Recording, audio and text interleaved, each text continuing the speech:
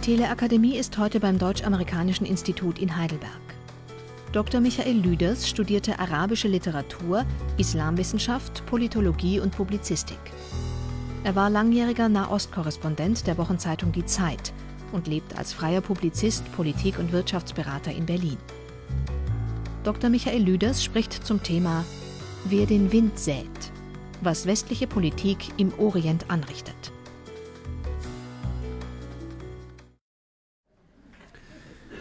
Wenn man sich die westliche Politik anschaut mit Blick auf die Verhältnisse im Nahen und Mittleren Osten, dann muss man sagen, dass äh, sie nicht unschuldig ist für viele Krisen und für vieles, was dort ungut in der Region abläuft. Und um die Hintergründe zu verstehen, muss man ein bisschen zurückgehen in die Geschichte. Äh, wie Sie wissen, hat der Kolonialismus der westlichen Welt, vor allem der Briten und der Franzosen, viel Unheil angerichtet in dem Nahen Osten, in Nordafrika, im Fernen Osten.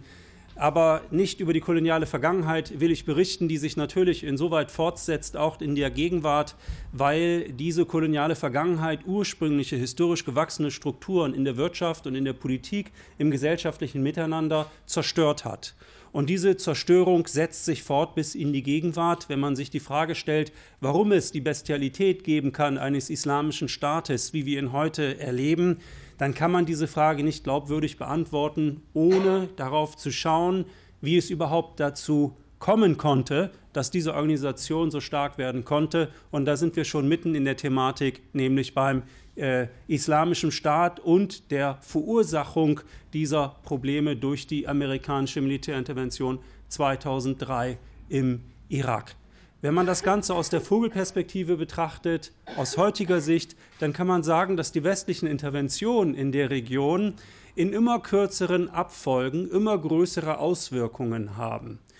Die Ursünde in der Region war im Grunde genommen der Militärputsch gegen den demokratisch gewählten Premierminister im Iran, Mossadegh, der 1953 hinweggeputscht wurde, gemeinsam von der CIA und dem britischen MI6, weil er zwei Jahre zuvor, 1951, die Erdölindustrie im Iran verstaatlicht hatte.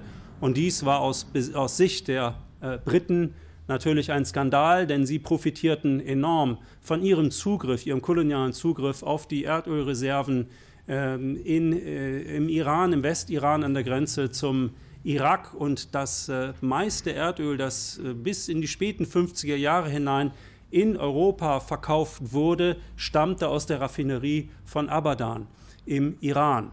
Und der Iran war also ein ganz wichtiger äh, Exporteur von Erdöl, aber die Kolonialmächte Großbritannien und andere, mit ihnen die USA nach dem Zweiten Weltkrieg, haben sie, die Amerikaner, die alten Kolonialmächte im Nahen und Mittleren Osten als die dominante Hegemonialmacht abgelöst.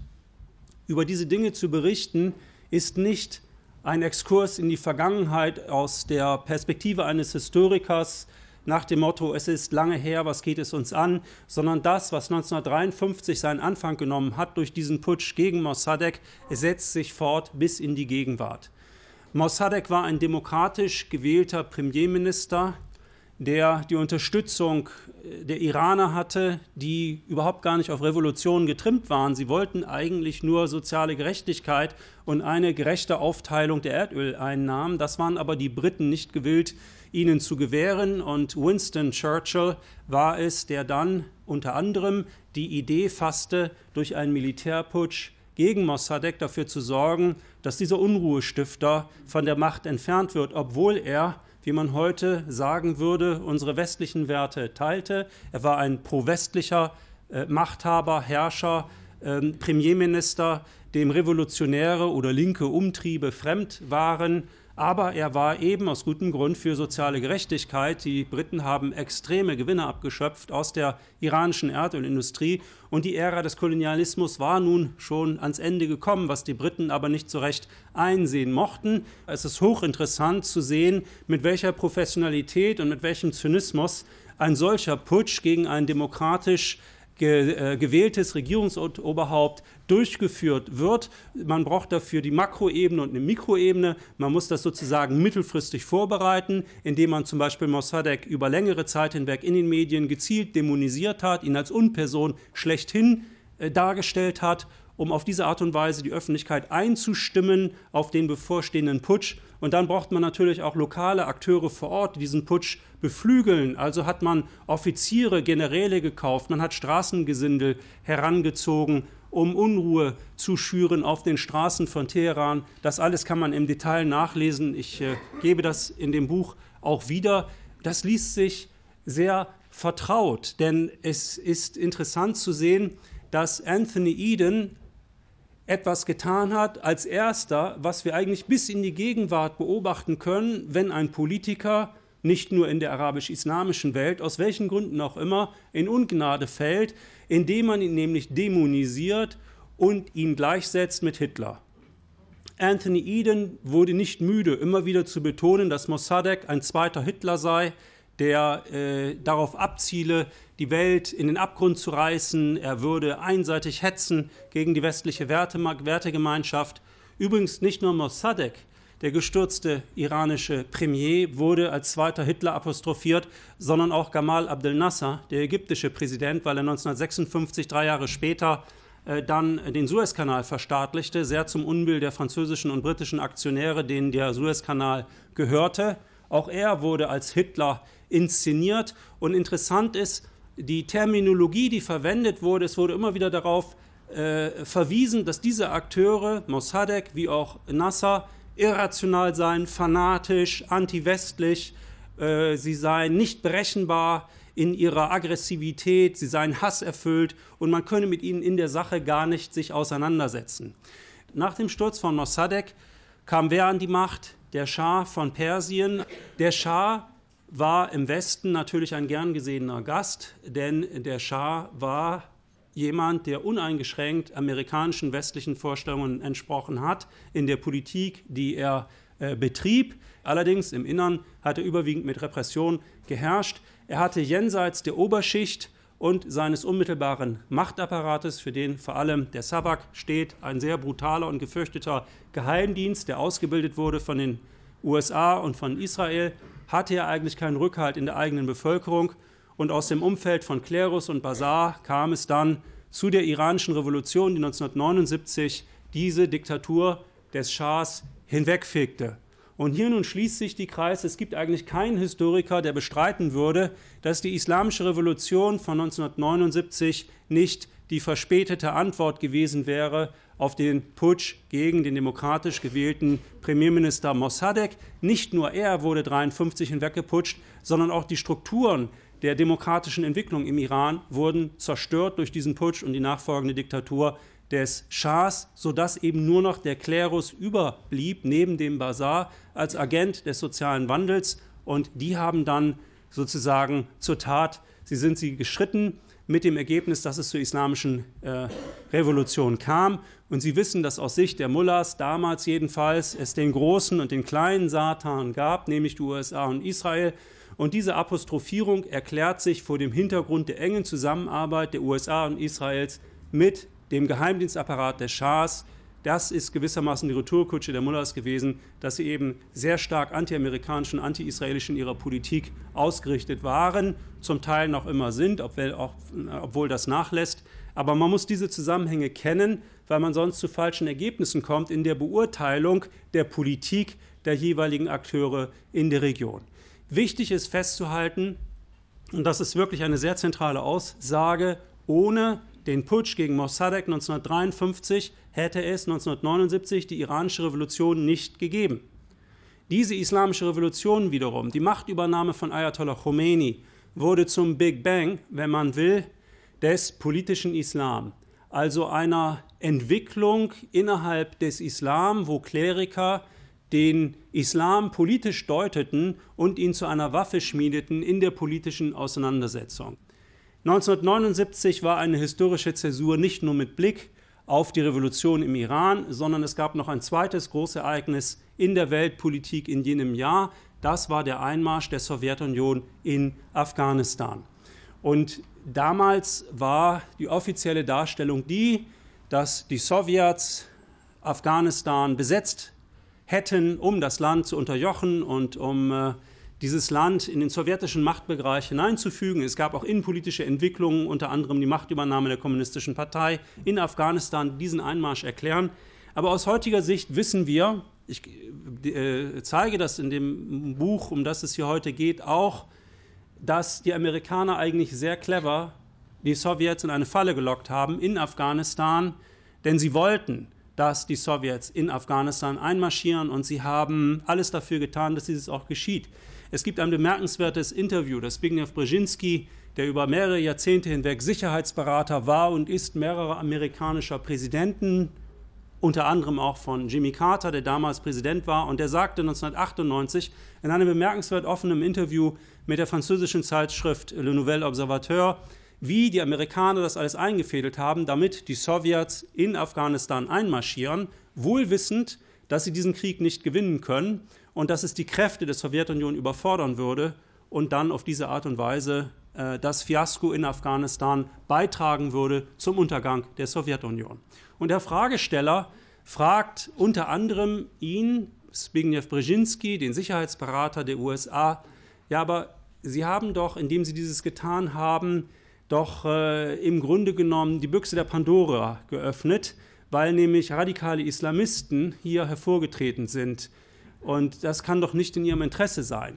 1998 war dieses Interview und die Antwort von Zbigniew Brzezinski lautete, was ist denn für die Weltgeschichte von größerer Bedeutung, der Untergang der Sowjetunion oder ein paar fanatisierte Muslime irgendwo auf der Welt? Um die Sowjetunion zu besiegen, sind die Amerikaner mit den Saudis und den Pakistanern ein merkwürdiges Bündnis eingegangen. Und dieses Bündnis hatte zur Folge, dass die Mujahedin, die Glaubenskämpfer, bewaffnet wurden im Kampf gegen die sowjetischen Besatzer und ihnen viel Schaden zugefügt haben. Aus diesen Mujahedin allerdings sind dann nach dem Abzug der Sowjets 1989 aus Afghanistan die Taliban und auch Al-Qaida hervorgegangen. Und Osama bin Laden war einer von denen, die enge Kontakte unterhielten zum amerikanischen Konsulat in Peshawar im Nordwesten Pakistans und sehr viel Waffen und Geld aus den USA empfangen hatten über die dortigen Geheimdienste, CIA insbesondere, mit dem Ziel, diesen Krieg in Afghanistan voranzutreiben. Warum Saudi-Arabien? Saudi-Arabien ist der große geostrategische Rivale des Iran. Saudi-Arabien beansprucht für sich, die Führungsmacht innerhalb des sunnitischen Islam darzustellen. Saudi-Arabien hat panische Angst vor revolutionären Entwicklungen, denn das dortige System ist eines, das geprägt wird von einem ultrakonservativen sunnitischen Islam wahhabitischer Ausrichtung. Die Revolution in Iran war aus saudischer Sicht eine gefährliche Provokation des eigenen Machtanspruches. Und um die Iraner, die iranische Revolution revolutionär und an Progressivität zu überflügeln, beschloss man in Riyadh, dieses sicherheitshalber zu tun, fernab der eigenen Grenzen. Und man hat dann gesagt, wir unterstützen den Dschihad, geführt durch die Mujahedin. Das Wort Dschihad steckt bei dem Wort Mujahedin mit drin. Die Mujahedin also, die wollen wir unterstützen von Pakistan aus in ihrem Kampf gegen äh, die äh, sowjetischen Besatzer. Und einer derjenigen, der den Kampf dieser Mujahedin organisiert hat, das war Osama bin Laden. Und man schätzt, dass Mitte der 1980er Jahre etwa 30.000 sogenannte arabische Afghanen in Pakistan lebten, vor allem in der Region um Peshawar, und darauf warteten, an die Front zu gehen im Kampf gegen die Sowjets. Teilweise kamen die mit ihren ganzen Familien und es war richtig äh, Volksfestatmosphäre vielfach auch, bis es dann an die, an die Front ging. Und äh, Osama bin Laden hatte dann die segensreiche Idee, wenn ich so sagen darf, sich zu sagen, Mensch, da sind so viele Kämpfer, ich mache jetzt einfach mal eine Liste, die ich zusammenstelle von diesen ganzen Glaubensbrüdern, die hier in den Kampf ziehen. Und er hat angefangen, im Grunde genommen eine Datei zu erstellen, dieser Tausenden von Kämpfern, die aus arabischen Ländern als Freiwillige kamen, unterstützt und finanziert von den Saudis und von Pakistan, um in Afghanistan gegen die Sowjets zu kämpfen. Er hat dann also eine Art Register angelegt und unter dem Begriff Register wurde das dann auch bekannt, auf Arabisch Al-Qaida. Und so kam es also zu dieser Organisation. Und der Grund dafür, dass äh, Osama bin Laden seine Loyalitäten, wenn ich so sagen darf, gewechselt hat, erst hat er mit den Amerikanern gegen die Sowjets gekämpft, dann wurden auf einmal die Amerikaner der Todfeind für ihn und andere radikale Islamisten. Der wesentliche Grund dafür war, dass nachdem Saddam Hussein äh, Kuwait überfallen hatte, hatte er Osama bin Laden die segensreiche Idee, dass er doch eigentlich seine Mujahedin im Kampf gegen den Irak nach Kuwait führen wollte. Davon wollten die Saudis aber nichts, nichts wissen, der war ihnen zu radikal. Außerdem haben sich viele äh, Araber, vor allem Saudis, nicht nur Radikale, darüber empört, dass die Amerikaner so stark militärisch präsent waren in Saudi-Arabien. Das haben sie als Blasphemie gesehen und auf einmal wurden dann die Amerikaner äh, zum großen Feind und Osama bin Laden beschloss dann nicht nur die Amerikaner zu bekämpfen, sondern eben auch diejenigen Regime, die besonders eng mit den USA zusammenarbeiten. Und das sind eben vor allem die Saudis gewesen und sie sind es äh, bis heute. Alles hängt mit allem zusammen. Saddam Hussein hat Kuwait überfallen im Jahr 1990. Warum hat er das getan? Ja, wir sind wieder im Jahr 1953, Sturz von Mossadegh, Islamische Revolution als Antwort darauf im Jahr 1979.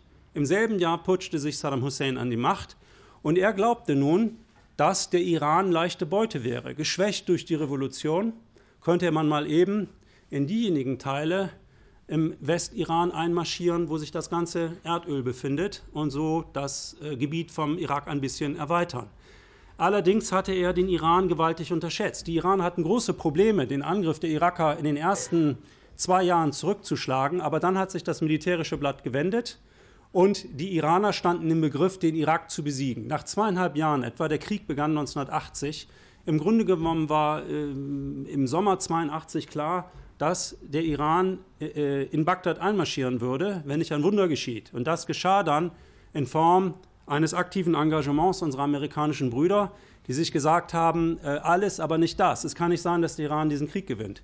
Also hat man angefangen, Saddam Hussein massiv zu bewaffnen man hat ihm Kredite gegeben, Darlehen, alles Mögliche. Und dieser Krieg hat sich nochmal um sechs Jahre verlängert, bis 1988.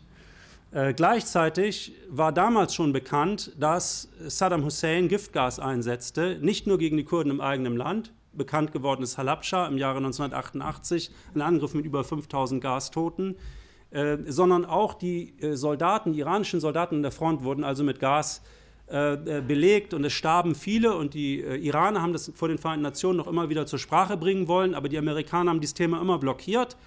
Auch deswegen, weil ähm, das, das äh, Giftgas, das die Amerikaner, äh, das, die, ähm, äh, das Irak bekam, das Saddam Hussein bekam, wurde hergestellt in den USA, Frankreich, Deutschland überwiegend und es wurde sozusagen nicht publik gemacht.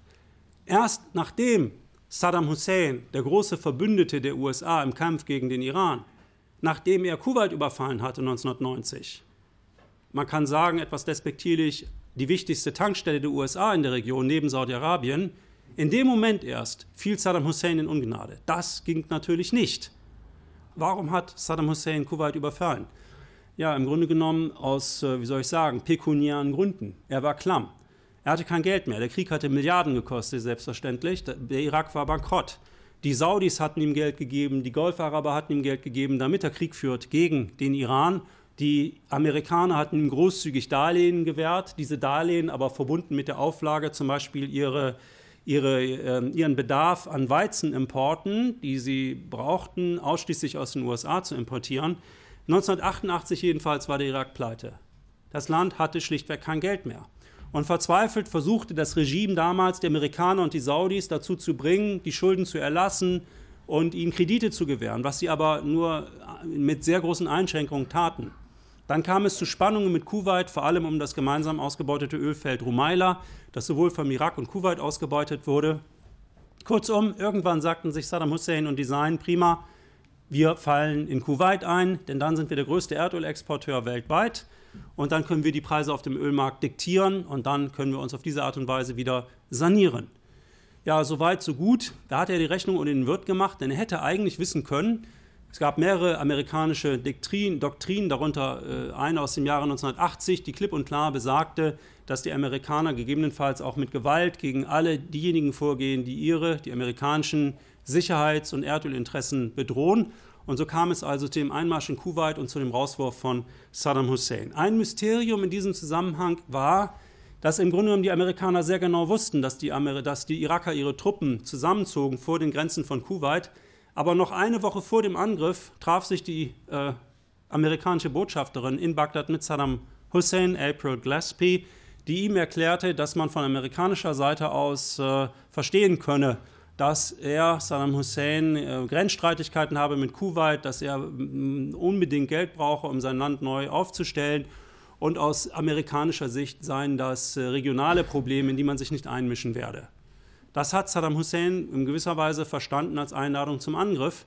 Und warum diese Botschafterin damals äh, diesen Spruch in dieser Form getätigt hat, das verwundert Historiker noch heute. Hätte sie damals mit der Faust auf den Tisch geschlagen, vielleicht wäre der Lauf der Geschichte dann ein anderer geworden. Nachdem also Kuwait befreit war, oder anders gesagt, als, als äh, Saddam Hussein einmarschiert war in, äh, in Kuwait, haben die Vereinten Nationen sehr weitreichende Wirtschaftssanktionen gegen den Irak verhängt.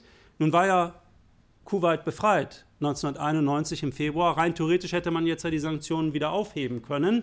Aber so zu denken heißt dann doch, äh, das Imperium zu unterschätzen. Denn aus amerikanischer Sicht war es völlig unakzeptabel, dass ein Herrscher auf die Idee kommt, ein anderes Land zu überfallen. Und die Amerikaner haben gemeinsam mit den Briten im Sicherheitsrat der Vereinten Nationen eine Resolution nach der anderen durchgepeitscht, die im Grunde genommen die wirtschaftlichen Aktivitäten im Irak weitgehend zu einem Stillstand brachten. Und das Ergebnis war verheerend, vor allem für die irakische Zivilbevölkerung. Es wurden vor allem auch keine Medikamente mehr ins Land gelassen. Und das Ergebnis war, dass es innerhalb von zwei, drei Jahren nichts mehr gab an Medikamenten. Ich war selber zu der Zeit zweimal im Irak und äh, sie bekam in Bagdad damals selbst Pflaster oder Mullbinden nur mit Mühe. Eine Krankheit zu haben wie Krebs oder äh, Diabetes oder Krankheiten, die im Grunde genommen leicht heilbar sind, Allergien, waren im Prinzip im Irak ein Todesurteil, sofern man nicht das Geld hatte, nach Jordanien zu fahren und sich dort behandeln zu lassen. Es gab nichts mehr in diesem Land an, an, äh, ja, an Medikamenten und an medikamentöser Versorgung. Das war sozusagen die Bestrafung der irakischen Zivilbevölkerung dafür, dass Saddam Hussein an der Macht war. Die Hoffnung war offenbar, dass sich die Bevölkerung dann erhebt gegen ihren Unterdrücker. Das Gegenteil ist geschehen. Die Menschen in ihrer Not haben sich erst recht Saddam Hussein unterworfen. Als Ergebnis dieser Sanktionen sind über eine Million Menschen gestorben, darunter etwa 500.000 äh, Kinder, bis äh, es dann ähm, zum Krieg kam 2003. Das ist ein, man kann sagen, Verbrechen westlicher Politik, das im öffentlichen Bewusstsein so gut wie gar nicht vorkommt. Und ähm, wenn man sich die Frage stellt, äh, wie eigentlich diese Verrohung der Moral und die Bestialität des islamischen Staates von heute zu erklären ist, dann muss man eingehen auf diese Phase in den 1990er Jahren. Damals war der Irak ein Land mit einer sehr, sehr ausgeprägten, starken bürgerlichen Mittelschicht, mit einem intellektuellen Leben, mit Leuten, die gut Geld verdienten. Es war nicht unüblich, dass Hochschullehrer beispielsweise ihren Urlaub in der Schweiz verbrachten mit ihrer Familie. Als Ergebnis dieser Sanktionen wurde der gesamte Mittelstand in die Verarmung getrieben. Es gab eigentlich im Irak nur noch zwei soziale Schichten, ganz oben, vielleicht 5% der Bevölkerung und der Rest arm, aber wirklich arm. Alles, was an Zivilität oder an Bürgerlichkeit, an moralischen Werten vorhanden ist in einer Gesellschaft, geht natürlich dann völlig vor die Hunde. Schätzungsweise 500.000 Kinder, also die Hälfte dieser Toten waren äh, Kinder, als Ergebnis dieser Sanktionen. Es gibt ein Interview, das ich auch zitiere, mit äh, Madeleine Albright, damals Außenministerin. Äh, sie sagte 1996 in einem, Inter in einem, Interview mit dem amerikanischen Nachrichtenmagazin äh, 60 Minutes auf CBS gesendet, da fragte der Interviewer sie, es seien ja nun 500.000 Kinder im Irak gestorben, das sind mehr als Kinder gestorben seien in Hiroshima, ob das denn den Preis wert sei. Und äh, Madeleine Albright antwortet, ja, das ist ein hoher Preis, aber wir denken, dass es wert ist, diesen Preis zu zahlen. Also die Nonchalance, mit der äh, die Mächtigen dieser Welt darüber befinden, wo auf der Welt Menschen sterben und wo nicht, äh, sucht schon ihresgleichen. Äh, als Ergebnis dann ähm, dieser Intervention von äh, Kuwait, also als Saddam Hussein Kuwait überfiel, war eigentlich in den USA klar, der Mann muss weg. Nur wie stellt man das an? Wie kann man das machen? Wie kriegt man ihn los? Und die Sanktionen haben eben nicht funktioniert. Ich meine, die Menschen haben einen furchtbaren Preis bezahlt, aber das Regime saß dennoch relativ gut und fest im Sattel. Dann kam es zu den Anschlägen des 11. September 2001. Und im Grunde genommen war damit äh, sozusagen der Countdown gesetzt für den Einmarsch im Irak zwei Jahre später. Eigentlich schon einen Tag nach dem 11. September haben sich die Verantwortlichen in Washington zusammengesetzt und sich überlegt, wo fangen wir zuerst an, Krieg zu führen, in Afghanistan oder im Irak. Und es war wohl wesentlich Colin Powell, der dafür plädierte, erst einmal in Afghanistan aufzuräumen, weil das der Öffentlichkeit besser zu vermitteln wäre. Weil dort eben die Taliban lebten, dort war Osama bin Laden beheimatet.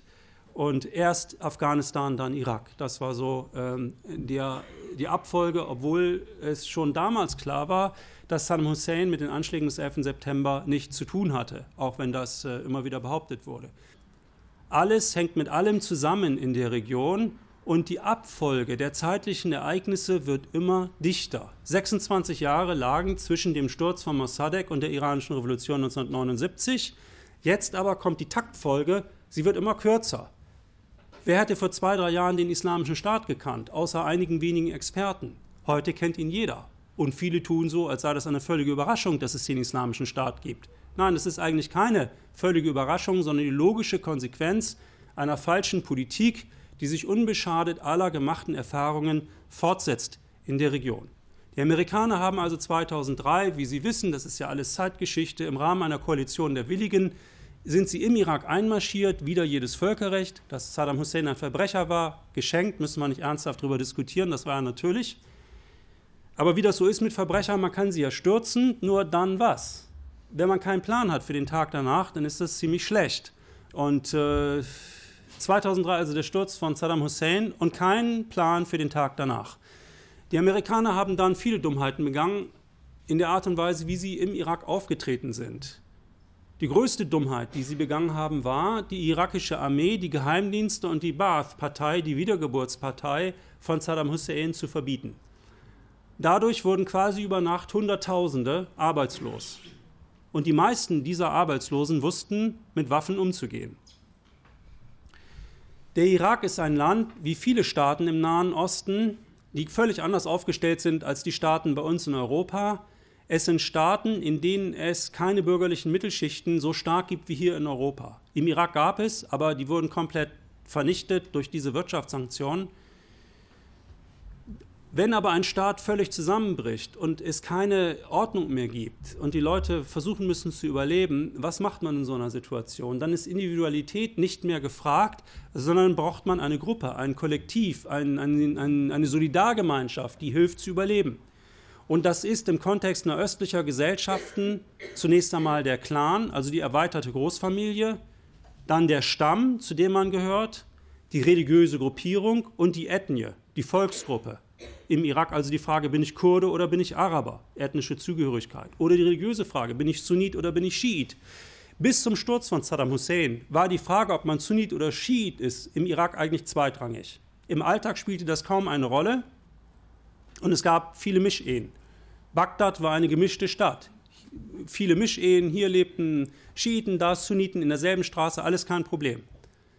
Allerdings hatten die Sunniten immer die Macht ausgeübt im Irak, seit osmanischer Zeit, obwohl sie nur 20 Prozent der Bevölkerung stellen. Die Bevölkerungsmehrheit liegt auf Seiten der Schiiten. Und nun kam es also zum Sturz von Saddam Hussein zu demokratischen Wahlen. Im Westen glaubt man, wenn man formelle Wahlen abhält und man hat dann einen Wahlsieger, dann ist sozusagen alles wie im Westen. Das ist natürlich nicht der Fall, sondern wir haben stattdessen eine Situation gehabt, wo die Schiiten auf einmal an der Macht waren. Ist ja logisch. Ein Schiit wählt eine schiitische Partei, Sunniten eine sunnitische Partei, ein Kurde eine kurdische Partei und so weiter. Also hatten die Schiiten die Macht. Was haben die getan? Erst einmal Rache geübt für Jahrhunderte der Unterdrückung. Die Schiiten haben alles getan, die schiitischen Politiker, um die Sunniten zu marginalisieren. Das Ergebnis war, dass die sunnitischen Stämme den Aufstand gewagt haben gegen die schiitische Zentralregierung und gegen die amerikanischen Besatzer, um ihren Machtverlust auszugleichen. Eine, eine der Gruppen, die damals den Aufstand machten, war Al-Qaida, aber das war eben nur eine von vielen. Es war im Grunde genommen eine Volkserhebung der Sunniten, kann man sagen. Die Amerikaner haben es aber immer so dargestellt, als würden sie Al-Qaida bekämpfen im Irak. In Wirklichkeit haben sie die Aufstandsbewegung der Sunniten bekämpft, die entstanden ist als Reaktion auf die blödsinnige Entscheidung der amerikanischen Regierung, namentlich des damaligen stellvertretenden Verteidigungsministers Paul Wolfowitz, die irakische Armee aufzulösen. Al-Qaida im Irak hat sich dann sehr schnell überlebt, vor allem deswegen, weil Al-Qaida im Irak mehr so diese internationalistische Agenda hatte, nach dem Motto, wir wollen ein zweites 9-11. Aber die Iraker, die Sunniten im Irak wollten das nicht. Das hat die nicht interessiert. Denen ging es um Bagdad. Und da ist eine neue Bewegung entstanden, nachdem Zakawi, der Führer von Al-Qaida im Irak, 2006 von den Amerikanern getötet worden war. Und diese neue Bewegung nannte sich dann recht bald Islamischer Staat im Irak. Und dieser islamische Staat, der verschiedene Führer hatte, bis dann Kalif Ibrahim 2008 anfing, die Führung zu übernehmen, war zunächst eine innerakische Veranstaltung, gut vernetzt in den dortigen Stämmen. Und wahrscheinlich wäre aus diesem islamischen Staat im Irak eine lokale Aufstandsbewegung geblieben, wäre nicht ein zweiter Konflikt hinzugekommen, der das Ganze nochmal explosiv hochgejazzt hat, nämlich der Krieg in Syrien. Der Krieg in Syrien war zunächst einer, der erwuchs aus einer Aufstandsbewegung gegen das Regime von Bashar al-Assad. Und aus dieser Aufstandsbewegung wurde dann sehr schnell ein Stellvertreterkrieg. Ein Bürgerkrieg zunächst einmal und dann ein Stellvertreterkrieg. Die Frage, welche religiöse Gruppe, welche ethnische Gruppierung, ist sehr, sehr wesentlich. Im Nahen Osten, vor allem dann, wenn Staaten zerfallen. Ich muss noch nachtragen, dass im Zuge der gewalttätigen Auseinandersetzungen im Irak Bagdad eine geteilte Stadt wurde. Sunniten mussten von Schiiten dominierte Viertel verlassen und umgekehrt. Weil wer als Sunnit in eine schiitische Straßensperre gerät, der überlebt nicht und umgekehrt. Also wurden Familien getrennt, Stadtviertel getrennt, überall sind Mauern in Bagdad und kein Sunnit würde so tollkühn sein, in ein schiitisches Viertel zu gehen oder umgekehrt. Sie haben verfolgt, es gab jetzt eine Offensive des, der irakischen Armee gegen die Stadt Tikrit, die Heimatstadt von Saddam Hussein, eine Hochburg der Sunniten. Diese Offensive ist jetzt abgebrochen worden. Warum? Ist doch ganz klar. Hochburg der Sunniten, die irakische Armee greift an. Die irakische Armee, wer ist das? Das sind Schiiten. Und nicht nur die irakische Armee hat gekämpft, sondern auch schiitische Milizen, die vom Iran unterstützt und bewaffnet werden. Ja, die Sunniten denken doch nicht daran, sich von denen befreien zu lassen. Wenn die die Alternative haben, islamischer Staat oder schiitische Miliz, wählen die den islamischen Staat. Da geht es nicht um Ideologie, sondern ums Überleben. Denn eine schiitische Miliz, die Tikrit erobert, die Heimatstadt von Saddam Hussein, der so viel Unheil gebracht hat über die Schiiten, äh, das überlebt man im Zweifel nicht. Die Menschen dort unter solchen Bedingungen, wenn ein Staat zertrümmert ist, denken nicht in irgendwelchen hehren Sphären. Demokratie, Freiheit, Menschenrechte. Sie sind vielleicht Stammesvorsteher eines Dorfes und die Amerikaner kommen zu ihnen und sagen, hey Bruder, wir brauchen dich, du kriegst Waffen, du kriegst Geld, du kämpfst gegen Al-Qaida oder gegen den Islamischen Staat. Dann sage ich als Stammesführer natürlich, klar, logisch, mache ich. Ich lege mich doch nicht mit den Amerikanern an. Ich weiß allerdings auch, wenn ich nicht ganz blöd bin, dass sie das ja nicht tun, weil ich so ein toller Typ bin, sondern sie brauchen mich als jemanden, der für sie kämpft. Wenn zwei Monate später die Frontlinien sich verschoben haben und auf einmal kommen irgendwelche Kämpfer von dem Islamischen Staat und sagen mir, hör zu, Dorfschulze, entweder du kommst zu unserer Seite und kämpfst auf unserer Seite mit gegen die Amerikaner oder wir machen ein Dorfblatt, ja ist doch klar, was die betreffende Person dann tut. So können sich also Allianzen ändern von einem Tag auf den anderen. Das hat nichts zu tun mit Ideologie oder sonst wie, sondern es geht einfach nur ums Überleben. Und das ist ja auch ein sehr starkes Motiv. Das muss man wissen, um zu erkennen, warum es eine Unterscheidung in Gut und Böse in solchen Konflikten, wo alles zertrümmert ist, nicht geben kann. Im Syrien gibt es eine Bevölkerungsmehrheit der Sunniten, also anders als im Irak. Dort haben die Schiiten die Mehrheit. In Syrien haben die Sunniten die Mehrheit. Aber wer hat die Macht? Die Alawiten. Eine religiöse Minderheit, die vielleicht 15 Prozent des Landes ausmacht, gilt gemeinhin als schiitische Sekte. Sie haben die Macht und die waren aber nicht doof. Die Leute um Hafiz al-Assad, dem Vater des jetzigen Diktators Bashar al-Assad, wenn ich als eine kleine Minderheit die Macht ausübe in einem ganzen Land, brauche ich Bündnispartner. Was hat also Bashar al-Assad gemacht und Hafiz al-Assad, sein Vater? Sie haben der sunnitischen Mittelschicht, den Händlern und Handwerkern in der Hauptstadt Damaskus und in der Wirtschaftsmetropole Aleppo signalisiert, hört zu Leute, ihr könnt Geld verdienen, so viel ihr wollt, interessiert uns überhaupt gar nicht, könnt ihr alles machen, aber stellt nicht die Machtfrage. Die Macht haben wir, aber wir lassen euch Geld verdienen, so viel ihr wollt. Dieselbe Botschaft haben die Alawiten gerichtet an die anderen religiösen Minderheiten, vor allem die Christen und die Drusen.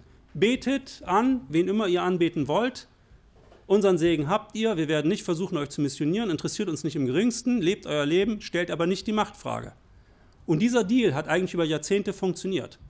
Dann kam es zum Aufstand in Syrien. Wer hat diesen Aufstand getragen? Vor allem verarmte sunnitische Schichten aus den Vororten der Großstädte und aus den ländlichen Gebieten. Vielfach mussten die Bauern ihre Heimat verlassen aufgrund von Dürre und anderen Katastrophen. Es war die sunnitische Unterschicht, die ärmeren Sunniten, die diesen Aufstand gemacht haben. Aber anders als in Ägypten beispielsweise, wo wirklich fast das gesamte Volk gegen Mubarak aufgestanden ist, waren es in Syrien nie mehr als die Hälfte der Bevölkerung, die gegen Bashar al-Assad aufgestanden ist.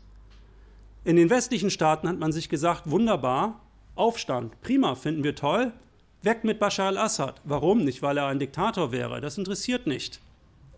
Sondern Syrien ist der engste Verbündete des Iran in der arabischen Welt. Und über Syrien erfolgt der Waffennachschub für die Hisbollah, die Partei Gottes, eine Schiitenmiliz im Libanon. Sie sehen, alles hängt mit allem zusammen. Das Kalkül des Westens, konkret der USA, mit ihnen der Europäer, der Türkei und der Golfstaaten war prima, wir stürzen Bashar al-Assad, setzen ein sunnitisches Regime ein und was passiert? Die privilegierten Beziehungen mit Teheran sind beendet, Hezbollah kriegt keinen Waffennachschub mehr aus dem Iran, Ende zu, Ende gut, alles gut.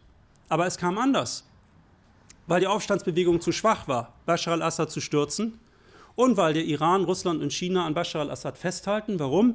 Weil sie nicht wollen, dass der Westen sich ein weiteres Land unter den Nagel reißt nach den Ereignissen in Libyen. Ja, in Syrien also war die Situation die, dass der Westen irgendwann erkennen musste, Bashar al-Assad ist nicht zu stürzen. Und Bashar al-Assad ist nicht doof, ist nicht dumm. Er ist äh, skrupellos, machiavellistisch, aber sehr brillant. Er hat erkannt, ich kann das ganze Land nicht zurückerobern. Ich konzentriere mich auf das Kernland. Also die alawitischen Siedlungsgebiete und die wirtschaftliche Lifeline, die Lebensader, ungefähr die Linie von der jordanischen Grenze über Damaskus bis nach Aleppo und den Streifen rüber dann zum Mittelmeer. Die ganzen Gebiete entlang der Grenze zur Türkei und dem Irak aber hat er sich selbst überlassen. Hier entstand ein Machtvakuum und dieses Machtvakuum wurde gefüllt von verschiedenen islamistischen Milizen und dann dem Islamischen Staat, der vom Irak aus nach Syrien aufgebrochen ist dort großes Territorium erobert hatte, vor allem die Ölquellen um Deir im Osten Syriens, eine Haupteinnahmequelle für den Islamischen Staat. Und er wurde so mächtig und einflussreich dort, dass er dann im letzten Sommer den Durchmarsch gemacht hat in die sunnitischen Gebiete im Irak, die er noch nicht kontrolliert hat.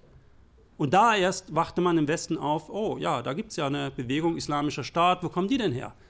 Ja, aber die waren schon die ganze Zeit da. Man hat sie nur nicht so registriert und wahrgenommen. Aber es gab sie und der islamische Staat ist, um es klar und deutlich zu sagen, made in USA.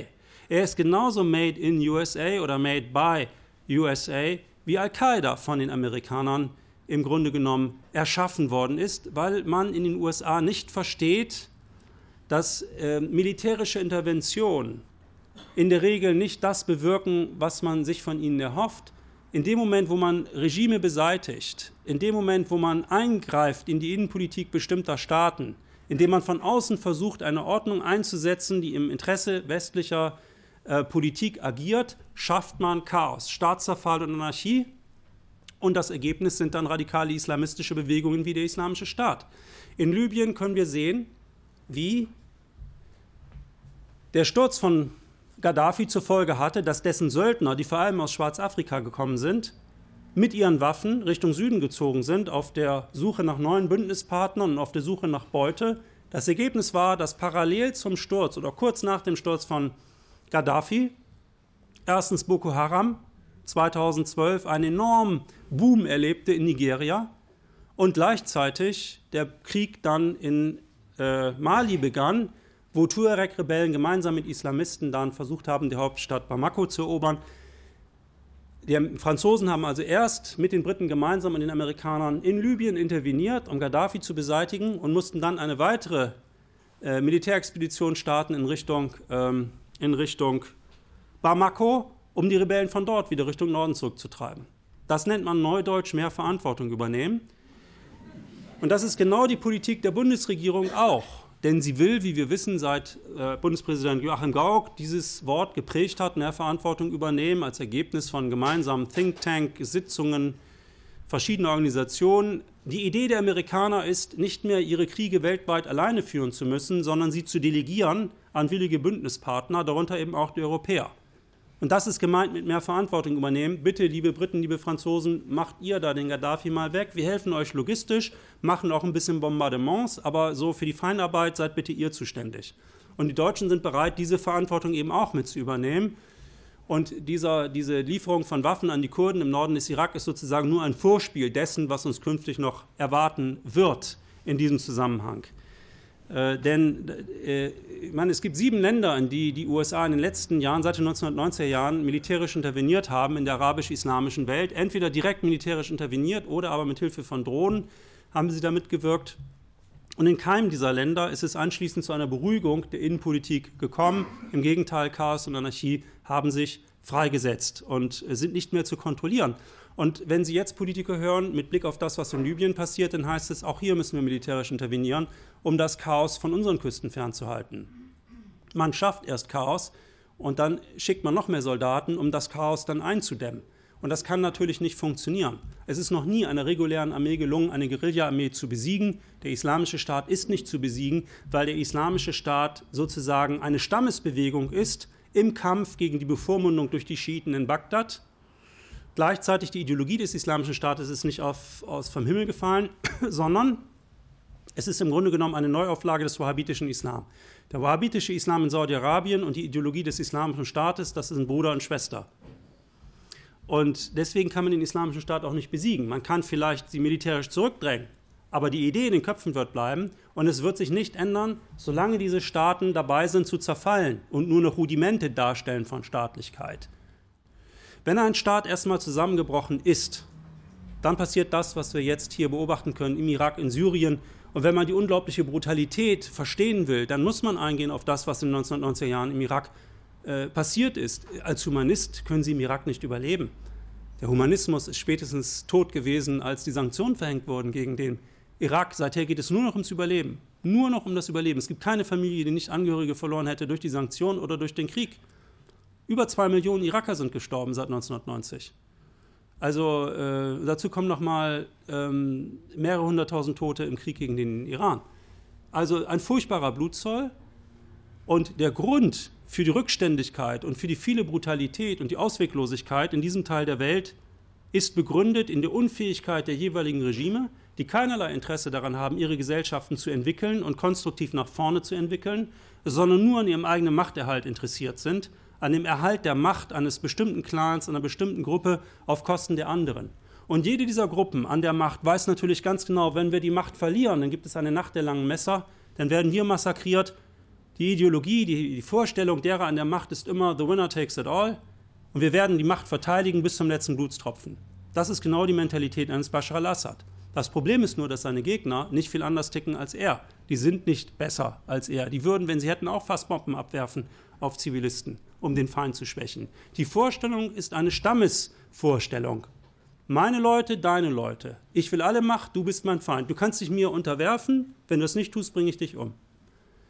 Ja, und diese Kausalitäten sind also sehr unerfreulich und sie werden verschärft durch eine westliche Interventionspolitik, die dazu führt, dass ein Krieg aus dem nächsten entsteht und ein Ende der Gewaltspirale gar nicht abzusehen ist.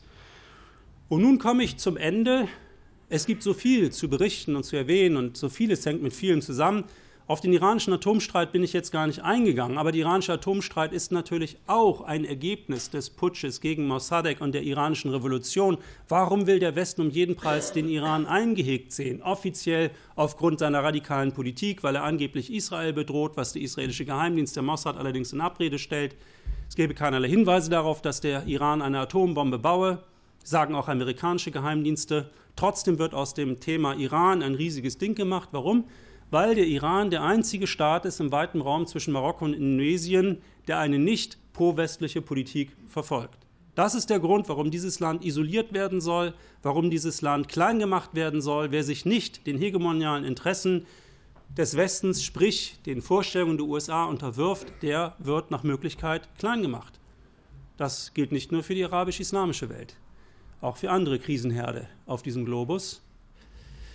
Ja, meine Brüder und Schwestern, äh, ich könnte glatt noch weiter, aber äh, ich denke, ich habe jetzt schon lange genug geredet. Es gibt sicherlich auch noch Fragen, können Sie auch alles nachlesen.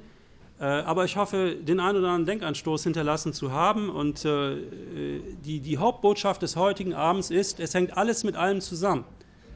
Es hängt alles mit allem zusammen. Glauben Sie nicht den großen Vereinfachern in der Politik und den Medien, glauben Sie vor allem jenen nicht, die Ihnen zu erklären versuchen, dass das ganze Chaos in der Region verursacht worden sei durch den Islam. Das ist wirklich Quatsch.